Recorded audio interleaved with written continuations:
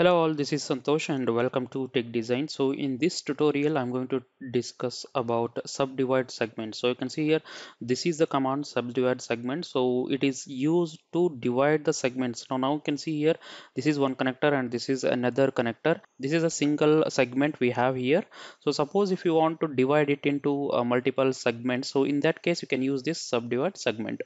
So now I'll just go to subdivide segment and there are multiple options over here. So we can so I'm going to discuss all of them. So at point, you can see here, once you select at point, so you need to select a particular, uh, you know, particular spline. So once this is selected, you can you can see here multiple options are there. So suppose if you want at 100 mm uh, length, if you want to create a point, so you can just go to arc length and enter 100 mm here, and you can just click apply. So the point will be created over here. So you can see here point will be created over here.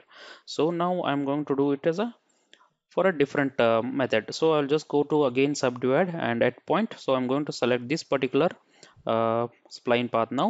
Now instead of giving a spline arc length I'm going to give percentage of arc. So suppose uh, in the in my cases I just want this point to be exactly at the middle. In that case you can just go to percentage of arc length and here you can enter 50 so once you enter up uh, 50 percentage exactly at the middle uh, the point will be created. You can see uh, this has been created so these are the two um, you know methods how we can create by using percentage of arc length and the distance of arc length okay? So by using these two options you can able to create uh, subdivide segment. And there is another uh, uh, way you can say equal segments. So in the equal segments what happens is say for example I'm going to select this spline path and my start point will be 0 and end point will be 100 and number of segments you can enter over here. Say for example I'm going to enter five segments. So if I enter five segments and I click apply there will be five segments will be created and they all in equal length. So mm, you can see here the uh, this whatever the length between these two and these two everything remains same. So that is how uh, it works. So, and there is a one more option uh, you can see here arc length segments. Okay so here i'm going to select this segment and uh, let me keep start length and end percentage as 0 100 and then here i'm going to create the number of segments. So five number of segments i'm going to create at 25 length. Say for example now what happens is so between 0 to 100 so between 0 to 100 25 mm arc length there will be a point. So this is a 25 mm arc length. Uh, one point will be created here. So we need five points similar to like that. So it will create five points until the fifth point. So after that whatever the segment will remain same. Okay so now let me click ok. So you can see here uh, five segments will be created. This is one two three four and 5 so these are the five segments that are created but uh, the distance between here is uh, only 25 and the rest will be as it is. So this is how we can use this subdivide segment. We have all the three options but the most important and most useful command is at point okay? So now uh, let so let me tell you what is this uh, you know create tangency at segment uh, subdivide point. So suppose if the point is created this uh, you know tangency will be created in case in any of the spline or any of the routing path is created from that particular point and add point to maintain the shape. So it is it is going to create a point here. So that is what it means.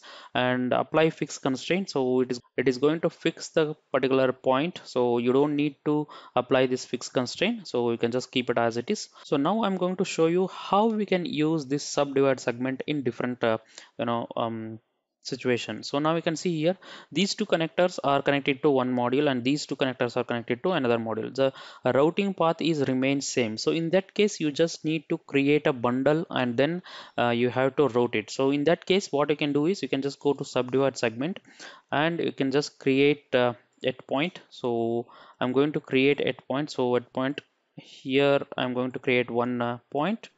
And now again on this side i'm going to create one point here okay. So now between these two uh, there will be three segments here. So i'm going to delete this segment. I don't want this segment. And now let me move this point on this particular line. Okay.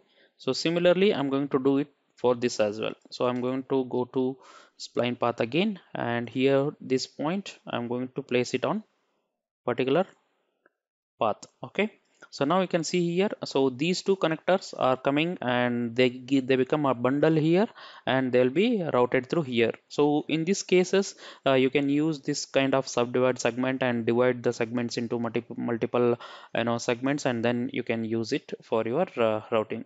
Hope you understand this uh, tutorial. If you have any doubts please comment in the section below. I will try to answer. Thank you guys